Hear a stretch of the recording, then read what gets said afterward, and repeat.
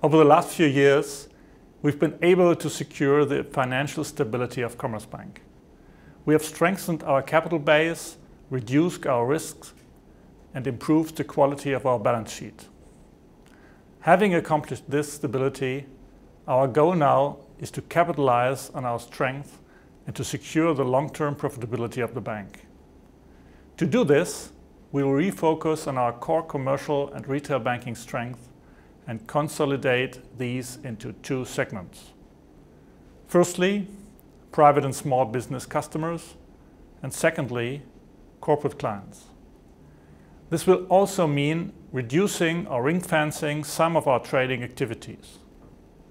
It will enable us to simplify our business model, which will give us the opportunity to digitalize the bank and automate 80% of our processes. In short, will become a digital enterprise.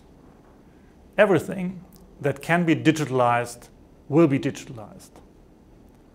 A consequence of these actions is that we'll be able to create a more cost-efficient business. Unfortunately, this will also entail the loss of 9,600 jobs.